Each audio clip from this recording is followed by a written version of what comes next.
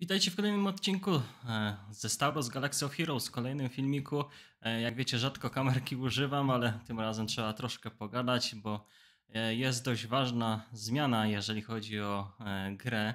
I tutaj widzicie artykuł na forum, do którego link oczywiście dam wam w opisie, żebyście mogli sobie mm, poczytać. Mm, Listopad się kończy, a zmiany całkiem, całkiem spore. Jak zobaczycie artykuł, który tutaj jest, jest naprawdę długi i samo przeczytanie go zajęło mi całkiem sporo czasu. O co chodzi przede wszystkim mm, i co o tym myślę, bo to będzie pewnie Was bardziej interesować, a mnie interesuje, co Wy o tym myślicie, więc podzielcie się w komentarzach.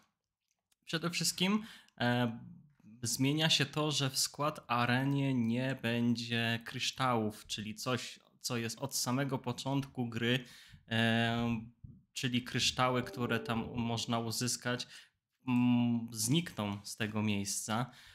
E, I zostaną przeniesione do Grand Areny. To, o czym producenci chyba myśleli, jak dobrze pamiętam, od samego początku, żeby właśnie tam przenieść kryształy, ale tego nie wprowadzili.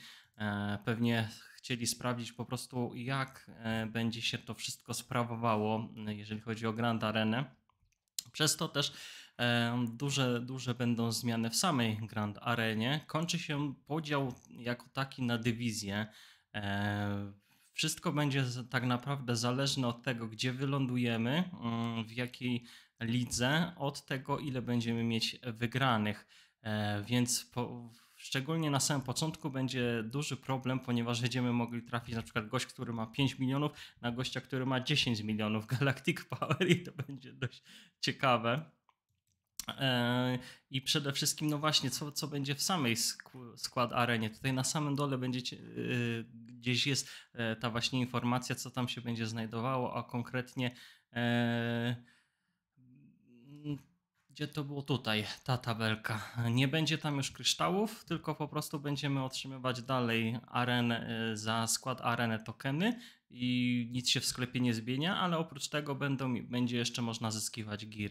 E, więc nie będzie jakiegoś znowu tam nacisku na, na to, że musi być pierwsze miejsce, chociaż nie dodali de- detalów, e, jak to będzie wyglądało, czy wystarczy, nie wiem, top 100 na przykład miejsce, żeby uzyskiwać jakieś tam te tokeny. Tylko tyle, że dali nam informację, iż będzie gear, więc trochę, trochę mało, e, jak tutaj sobie popatrzycie.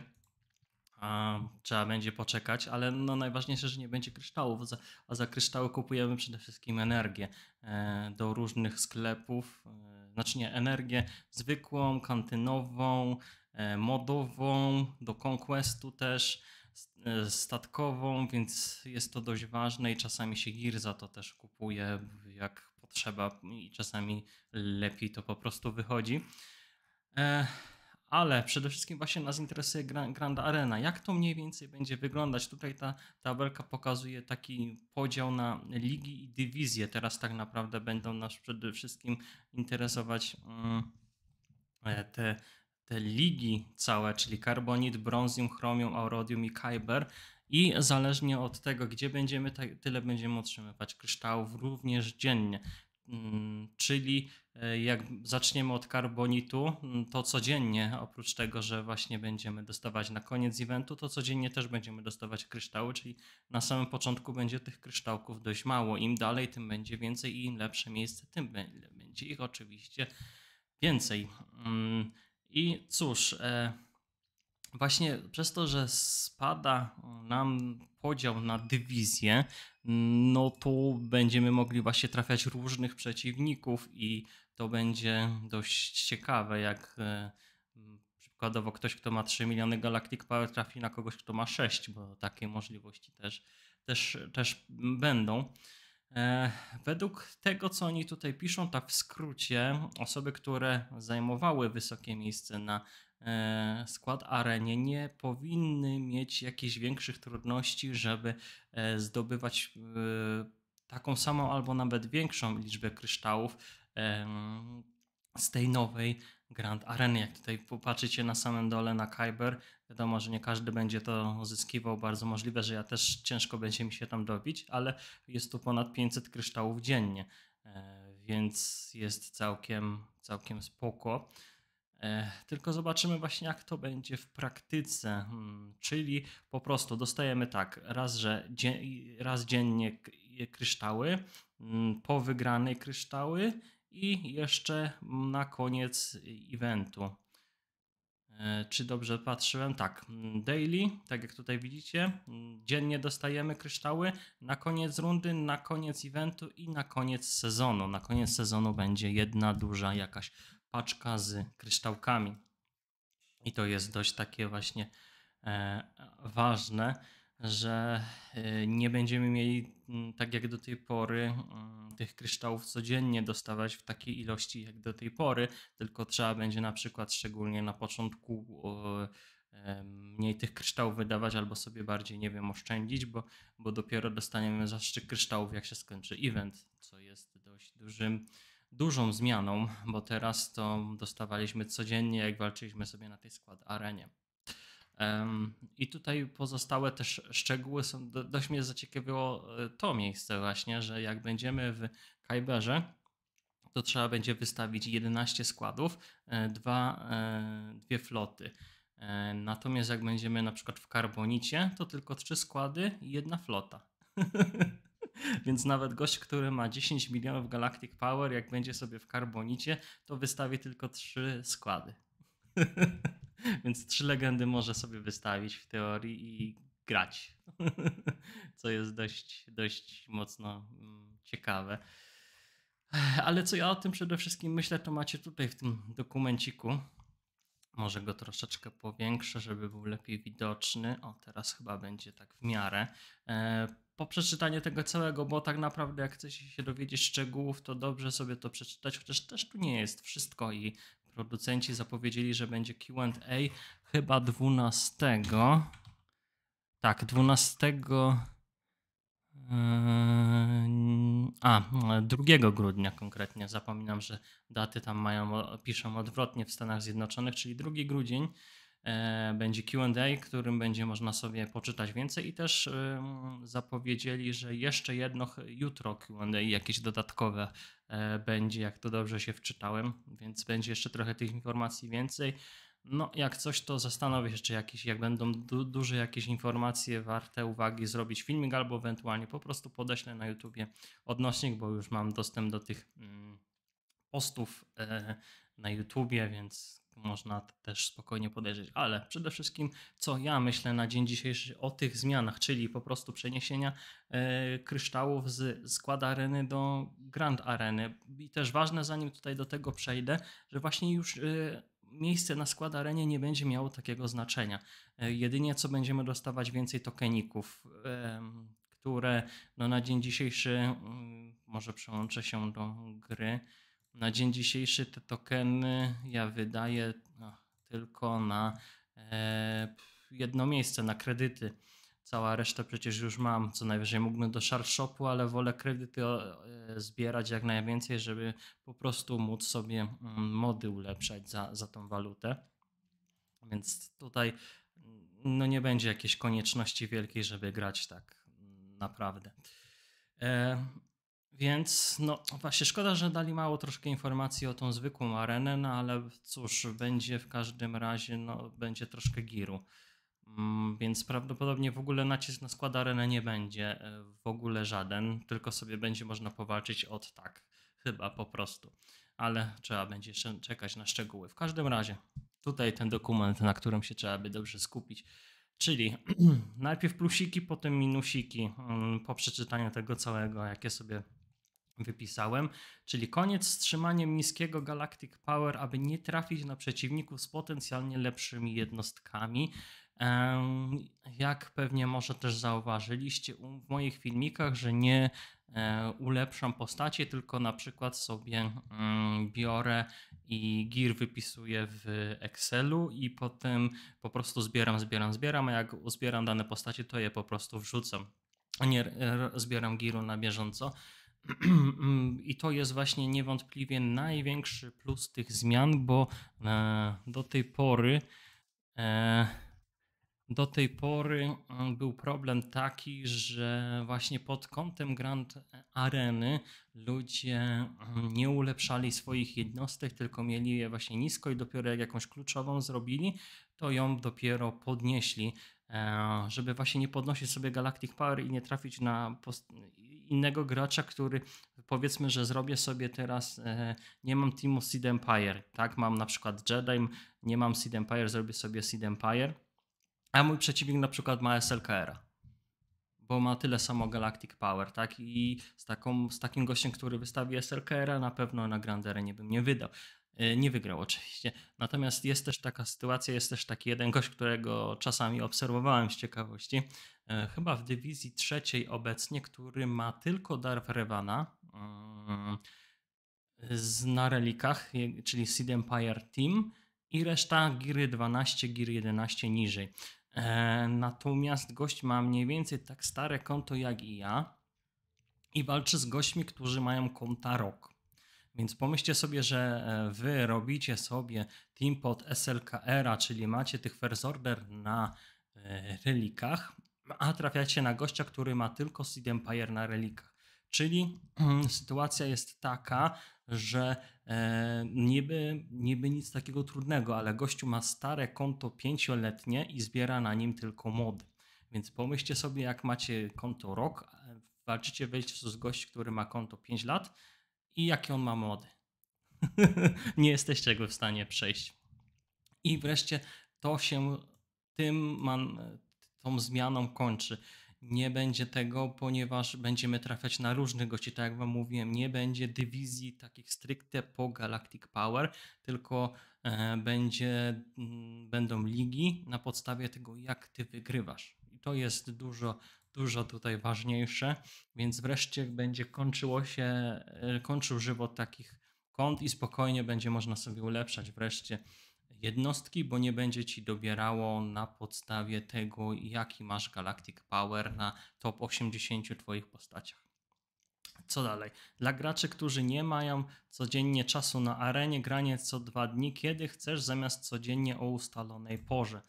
E, właśnie to, to jest trochę ból skład areny, że musisz zawsze o określonej godzinie grać i zdobyć to pierwsze miejsce. Teraz dzięki temu tego prawdopodobnie już nie będzie, co jest na dwa plusiki, jak dla mnie, bo oszczędność tutaj dla ciebie czasu i grasz wtedy, kiedy po prostu masz czas, chociaż wiadomo, Fleet Arena cały czas zostaje i trzeba będzie ją grać i trzeba będzie, jeżeli ktoś nie ma wysokiego miejsca, to będzie musiał się skupić, żeby to miejsce wreszcie zdobyć. To będzie teraz bardzo ważne.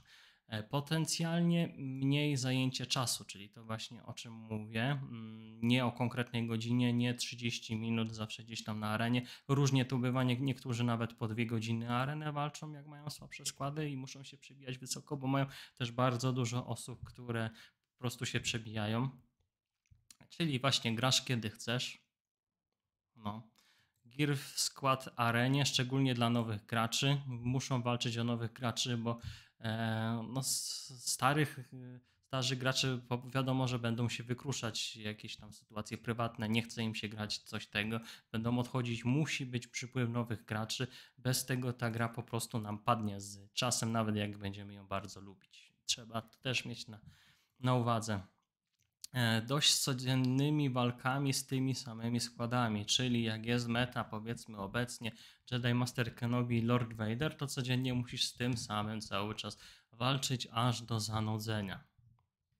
No, to chyba nie muszę nikomu mówić. Kto gra skład Arenę, ten wie, chociaż Fleet Arena jest trochę gorsza, ale trudno.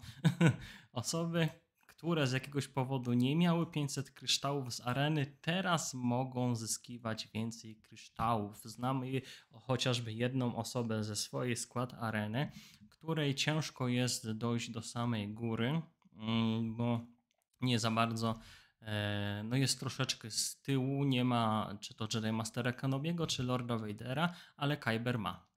Co Grand Arena Kyber ma więc wiem, że to jest dobry gracz, tylko po prostu pewnie nie ma czasu, żeby codziennie grać e, skład areny mm, albo o tej określonej godzinie. To jest właśnie też duży plus dla takich osób. e, przy tych zmianach. W teorii mniej zmieniania modów, brak konieczności zostawienia najmocniejszych modów na tak zwany skład arenowy. Czyli dobrze to znamy, niewiele z Was pewnie też mówiło, że e, moje mody z areny wrzuciłem tu i tu, czyli po prostu najszybsze, najlepsze mody wrzucane często były w team, który był na skład arenie, a na przykład na Grand Arenie już te mody komuś innemu by się jednak dało, na przykład Seed Empire, którzy e, ciągle są dobrzy, ciągle fajnie wrzucić w nich jakieś mocne mody. No i w teorii to, to już odejdzie powiedzmy w zapomnienie. To przekładanie modów e, na różne eventy, arena nam przynajmniej odpadnie. E, koniec fitców podczas walk na Grand Arenie, tutaj nie dopisałem ponieważ też napisali w tym artykule, że nie będzie fitców podczas Grand Areny.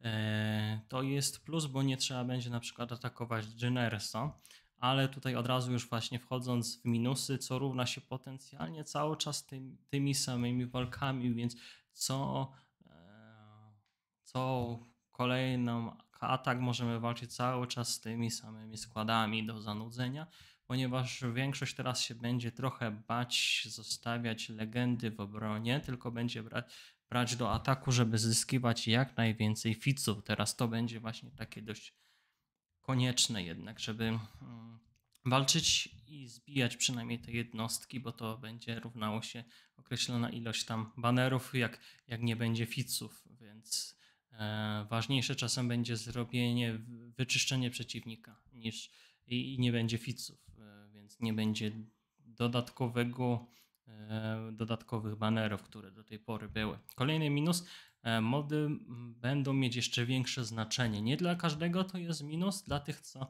e, farmią ciągle te mody, sprawdzają, slajsują, to będzie dobre, bo mm, no Grand Arena będzie teraz miała większy nacisk, więc kto ma lepsze mody, będzie mu w teorii łatwiej walczyć po prostu. Jak ktoś ma słabe mody, to może do, tracić trochę tych banerów jednak. Nie dla każdego to jest minus, już zauważyłem, ale dla niektórych na pewno tak. Będzie jeszcze większy nacisk na mody niż wcześniej. Co dalej? Trzeba będzie bardziej dokładnie zarządzać kryształami. Przy przegranych będzie ich prostu mniej. Teraz mo, niektórzy mogli spokojnie grać sobie skład areny, a Grand Areny olewać, bo nagrody tam nie były jakieś nie wiadomo jakie. E, natomiast teraz przegrana na Grand Arenie będzie boleć jeszcze bardziej niż poprzednio, bo przegrana równa się mniej kryształów. Tyle. I to będzie boleć co po niektórych.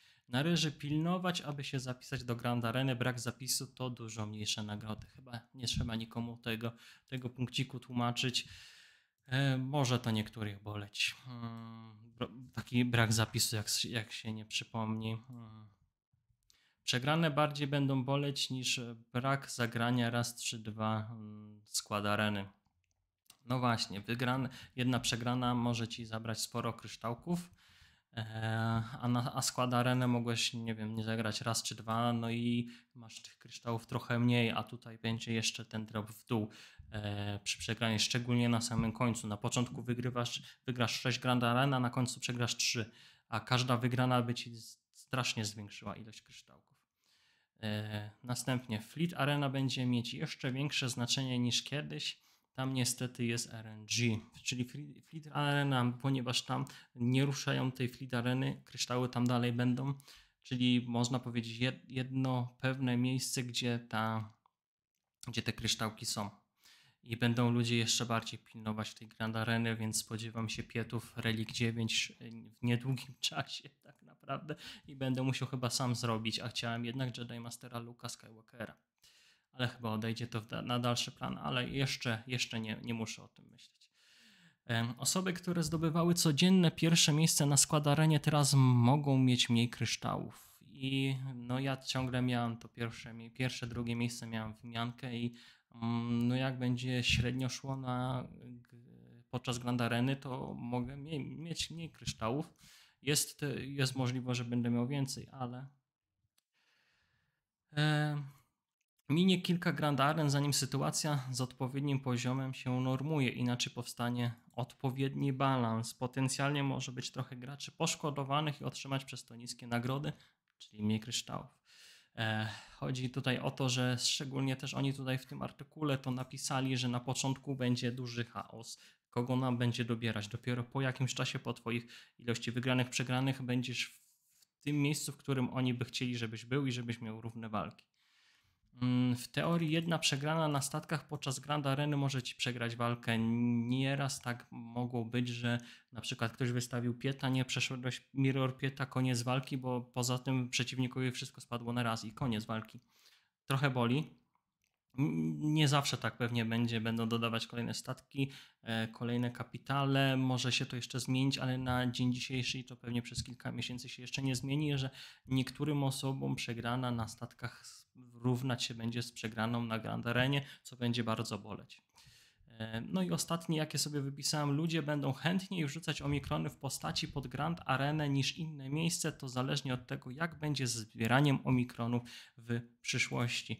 No właśnie, weszły nie tak dawno omikrony i jak wiemy, że dają one różne rzeczy postaciom, na przykład Rostico coś tam do Grand Areny dostaje, umiejętność, jeżeli wrzucimy im umiejętność z Grand Areną.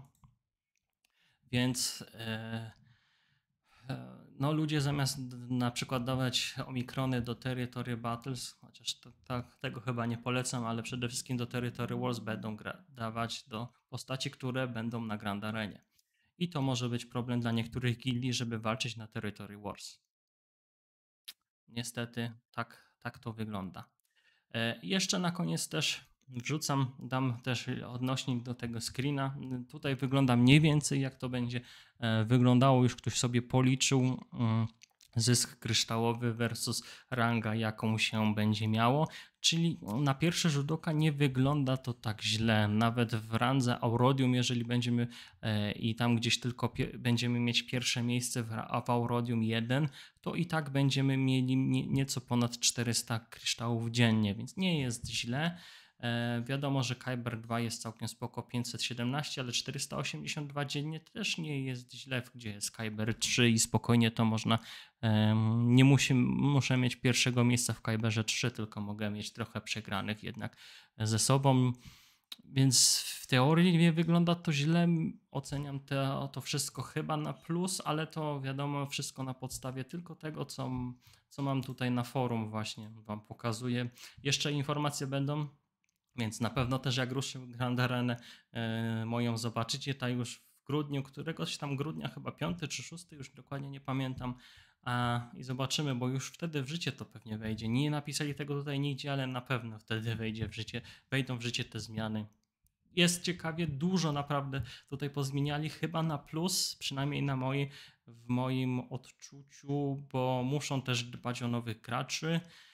E, bo bez nich gra po prostu pewnie by e, umarła z czasem.